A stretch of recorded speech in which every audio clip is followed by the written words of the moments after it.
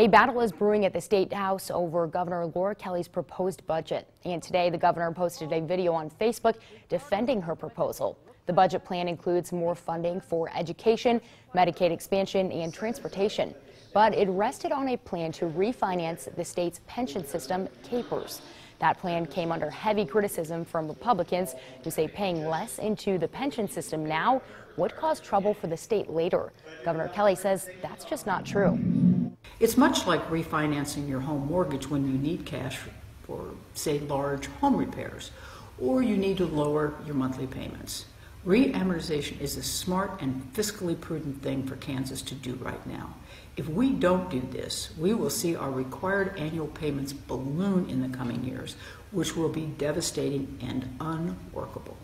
And Governor Kelly also promised that her budget would not impact retirement benefits for state employees.